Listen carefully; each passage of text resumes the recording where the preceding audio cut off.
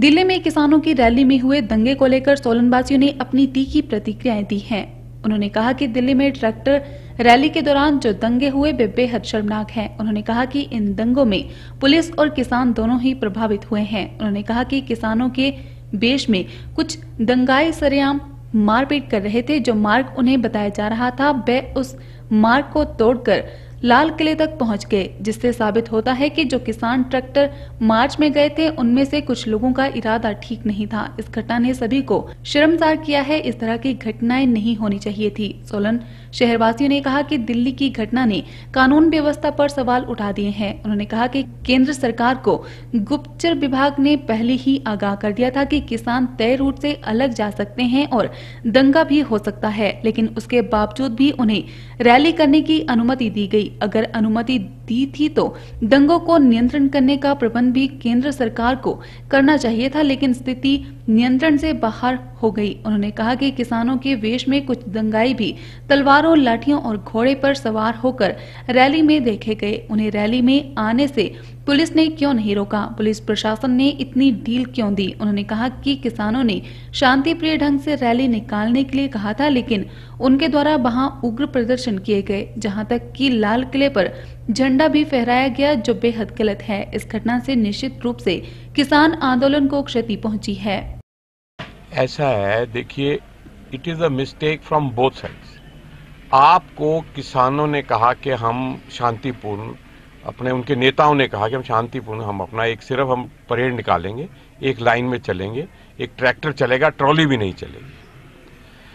मेरे को सबसे बड़ी बात यह है कि गवर्नमेंट ने, ऑफिशियल ने ये कैसे मान लिया कि इतना बड़ा हजूम, इतना बड़ा हजूम आया है और उसमें मिसक्रेंट्स नहीं होंगे? आप इमेजिन नहीं कर सकते कि मैंने खुद देखा है संडे को जो जितना ट्रैक्टर सिंगू बॉर्डर की तरफ़ गया है। उन्होंने मिसक्रेंट्स ने गलती की, मान ली। वो तो एक्सपेक्टेड थी कि ये होगी। और इसमें गलती आए, मैं, मेरा जो पर्सनली कहना है कि एडमिनिस्ट्रेशन द पुलिस ऑफिशियल्स उनको अपनी तरफ़ से सचेत रहना चाहिए था।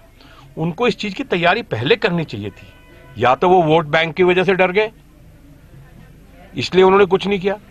पर यह गलती तो है कि जब उनको पता है कि इतनी दुनिया है तो उसमें अगर पाँच परसेंट ने भी गड़बड़ की है तो you should have been prepared for it देखिए, जो कृषि कानून के विरोध में जो किसानों ने रैली निकाली, अगर ये सूक्ष्म रूप में करते तो ठीक था, लेकिन यहाँ पर इसको हाईजैक कर लिया गया जो किसान रैली थी और लाल किला जो कि हमारी प्राचीन धरोहर है, उस पर झंडा फहराया गया, ये गलत ही है और हम इसकी बहुत निंदा करते हैं। अगर उनको प्रोटेस्ट करना था तो उसके कई रूप होते हैं, लेकिन ये रैली निकाल के आपने पूरी दुनिया को दिखाया कि आप किस तरह से कर रहे हैं तो ये गलत था।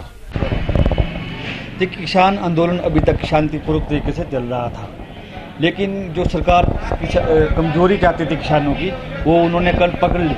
सरकार चाहती थी कि किसान कुछ ऐसा करे जिससे जो है, बात हमारे हाथों में आ जाए। और ये जो आंदोलन था, ये बहुत ही शांतिपूर्वक चला हुआ था। लेकिन कुछ शरारती तत्वों के बीच में आ जाने से ये आंदोलन को जो है क्षति पहुँची है। और मेरे हिसाब से ऐसा होना नहीं चाहिए था। शरारती तत्वों ने ही किसानों के साथ ऐसे घटना को अंजाम दिया है। जब सरकार को पता था कि भी ट्रैक्टर रैली निकल रही है, रास्ते में इतने बैरियर थे, वहाँ पर उन्हें डाइवर्ट किया जाता, रोका जाता तो ये शायद घटना इस प्रकार से रंग ना लेती। मगर सबसे बड़ी बात यह है कि सरकार आँखें बंद करके लगभग साठ दिनों से ये आंदोलन चल रहा है और इस बात को बड़ी लाइटली ले रही है, बड़ी कमतर आंक रही है। ये सरकार की एक गलती है। सरकार को चाहिए था कि जब उन्हें परमिशन दी थी तो उस प्रकार से उनके साथ जब कोई जुलूस निकलता है, कोई करता है, पूरी पुलिस, पूरा जो सरकारी तंत्र है, वो साथ होता है, देखता है कि किसी प्रकार की कोताही इस जुलूस में ना हो। मगर ऐसा लगता है कि सरकार ने सिर्फ़ इतना ही आदेश परमिशन देकर सारी जिम्मेवारी से हाथ पल्ला झाड़ लिया था। और जो ये घटना ये बहुत दुखद है। इस प्रकार से सरकार को ध्यान देना चाहिए था और आंदोलनकारियों को भी, किसानों को भी ये बात सोचनी चाहिए थी कि उनका जो कार्यक्रम है, वो शांतिपूर्वक रहे, ताकि, क्योंकि इस घटना से आंदोलन को भी चोट पहुँचती है।